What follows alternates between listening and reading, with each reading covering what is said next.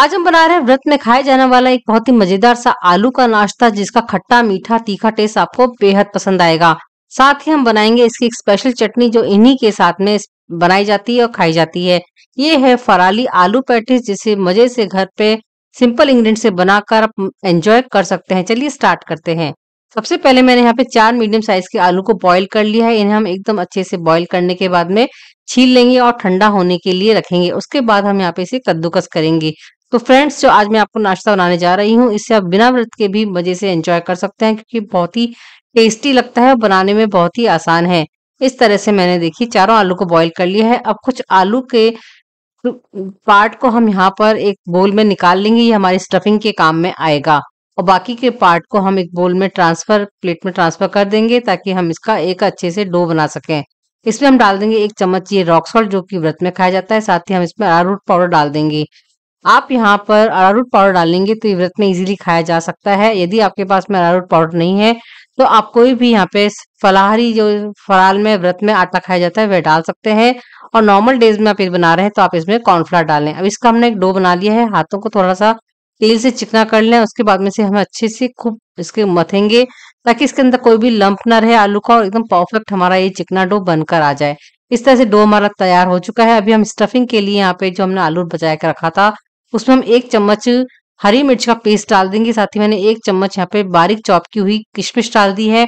एक चम्मच हम भर के यहाँ पे ये काजू भी डाल देंगे, इन्हें बारीक चॉप कर लिया है। अभी इसमें डालते वन फोर्थ कप ये हमने मूंगफली जिसे रोस्ट करके मैंने क्रश कर लिया है। साथ ही इसमें हम डाल देंगे वन फोर्थ कप के करीब ये सूखा वाला नारियल। आप फ्रेश नारियल भी कद्दूकस करके डाल सकते हैं और ढेर सारा फ्रेश धनिया डाल दीजिए। अभी हम यहाँ पर इन सभी चीज़ों के बाद में इसमें खाने वाला जो व्रत का नमक होता है, वह डाल देंगे टेस्ट के अकॉर्डिंग डालें। थोड़ा सा हम यहाँ पे काले मिर्च का पाउडर भी डाल देंगे। तो फ्रेंड्स इस तरह से इसे थोड़ा सा खट्टापन देने के लिए इसमें नींबू का रस भी ज़रूर डालें और साथ ही इसमें हम थोड़ी सी चीनी भी डाल देंगे। जैसा कि उन्हें बताया था कि इसमें खट्टा, मीठा, तीखा तीनों का बहुत ही बढ़िया बैलेंस फ्लेवर होता है, जो आपके टेस्ट बर्ड को बहुत ही पसंद आएगा। इस तरह से हम सभी चीज़ों को बहुत ही जेंटली मिक्स कर लेंगे और इस तरह से हमारे पास में ये स्टफिंग तैयार हो जाएगी, जब स्टफिंग तैयार हो जाएगी तो इस तरह से देखिए, ये एक बॉल शेप में आ जाएगी। तो हमारा डो भी तैयार है स्टफिंग भी हमारी तैयार हो चुकी है, अभी हम यहाँ पर स्टफिंग के छोटे छोटे से बॉल्स बना के तैयार कर लेंगे। तो जैसा कि मैं आपको वीडियो में बता रही हूँ, इस मटेरियल से हमारे पास करीब 10 से 11 पैटिस बन के तैयार हो जाती है, जिन्हें आप किटी पार्टीज़ में स्नैक्स में भी मज़े से एंजॉय कर सकते हैं। अब मैंने हाथों को थोड़ा सा तेल से ग्रीस कर लिया है और जो हमने डो बनाया था प्लेन आटे का, उसमें से हम थोड़ा सा पार्ट ले लेंगे और उसका एक बॉल बना लेंगे और इसको हम थोड़ा सा फ्लैट कर लेंगे ताकि हम इसे अच्छे से स्टफ़ कर सकें। जिस तरह से कचौरी वगैरह स्टफ़ की जाती है सेम इसी तरह से हमें यहाँ पे स्टफ़ करना है। तो फ्रेंड्स इस मज़ेदार से रेसिपी को आप कौन सी सिटी से देख रहे हैं कमेंट्स में ज़रूर बताएँ और आपके यहाँ पे व्रत में क्या बनाया और क्या खाया जाता है। और सबसे ज़्यादा क्या पसंद किया जाता है, वह भी बताएँ। तो इस तरह से हमने इसे अच्छे से सील कर लिया है खूब अच्छे से चिकना कर लिया और सभी बॉल्स को इसी तरह से हम तैयार करेंगे। तो मैं आपको वापस से बता देती हूँ कि इस तरह से देखिए, जो डो वाला पार्ट है वो थोड़ा ज़्यादा होना चाहिए और स्टफिंग वाला पार्ट है वो थोड़ा सा छोटा होना चाहिए। एकदम परफेक्ट हमारी इसकी।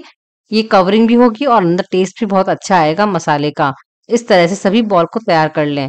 और अभी हम यहाँ पे इसे डीप फ्राई करेंगे और एक अच्छा सा कुरकुरापन लाने के लिए हम यहाँ पे इसका एक स्टेप और आपको बताएँगे। ताकि परफेक्ट टेस्ट की और टेक्सचर की आपकी ये आलू की पैटिस बनकर आए।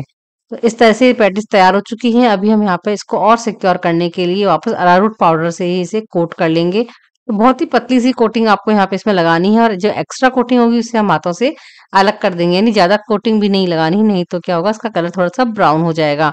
और यदि आप नॉर्मल डेज़ में इसे एंजॉय करना चाहते हैं तो आप कॉर्नफ्लावर यूज़ कर सकते हैं। अभी आप चाहें तो इन्हें फ्रिज में रख सकते हैं। तो फ्रिज में रखने से ही थोड़ा ऑयल कम एब्जॉर्ब करेगी, बहुत ही अच्छा टिप है। चट्टी के लिए हमने यहाँ पे फ्रेश धनिया डाल दिया, साथ ही इसमें पीनट्स डाल दें और इसमें हमने टेस्ट के अकॉर्डिंग ही हरी मिर्च डाल दी है। अभी इसमें डाल दें थोड़ा सा जीरा। यदि जीरा व्रत में खाते हैं तो ज़रूर डालें। रॉक सॉल्ट हमने डाल दिया, सेंधा नमक और इसमें एक चम्मच हम यहाँ पे फ्रेश दही डाल देंगे और थोड़ा पानी डाल के इसे अच्छे से पीस लेंगे। ये चटनी एकदम पतली ही बनती है और ये चटनी स्पेशली आलू पैटिस के साथ ही बनाई जाती है और सर्व की जाती है तो इसलिए मैंने वही रेसिपी आपको दी है। अभी हम यहाँ पे मीडियम फ्लेम पर तेल को गर्म कर लेंगे और उसके बाद में चार से पाँच पैटिस एक बार में से डालेंगे। और एक बार डालते ही आप इसे बिल्कुल भी टच ना करें, हल्का सा इसके ऊपर तेल इस तरह से उछालेंगे तो ऊपर से भी फॉर्म हो जाएगी। उसके बाद में आप इसे पलट सकते हैं और अच्छे से पलटते, अलटते पलटते हुए हमें यहाँ पे इसे गुलाब जामुन की तरह फ्राई कर लेना है ताकि इन सभी तरफ़ से अच्छे से इवन कलर आए और हमारी पैटिस खूबसूरत बनकर आए। इस तरह से देखिए, बहुत ही बढ़िया हमारी ये पैटिस फ्राई हो रही है। फ्लेम को आप मीडियम पे ही रखें। ताकि अरारूट जो हमने डाला है, वह अच्छे से फ्राई हो जाए और बहुत ही क्रिस्पीनेस इसके अंदर आए। तो इस तरह से इन पैटिस को बना के फ्रिज में भी रख सकते हैं और अच्छे से कंटेनर में रखें, ढक के, उसके बाद में जब मन चाहे तब आप इन्हें इस तरह से फ्राई कर सकते हैं।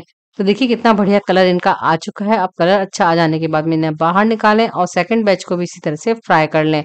बहुत ही मज़े का हेल्दी और टेस्टी नाश्ता है फ्रेंड इसे आप बहुत ही इजीली घर पे बना सकते हैं और व्रत के दिनों में इन्हें एंजॉय कर सकते हैं। अभी हमारी ये फराली पैटिस चटनी तैयार हो चुकी है, इसे मज़े से बनाए, खाएँ और हमारी रेसिपीज़ यदि आपको पसंद आती है तो हमारे यूट्यूब चैनल को सब्सक्राइब करें फेसबुक पेज को फॉलो करें, ताकि हम इसी तरह की आपके लिए रेसिपीज़ लाते रहें। तब तक एंजॉय करें फराली पैटिस। मिलते हैं नेक्स्ट रेसिपी में। Thank you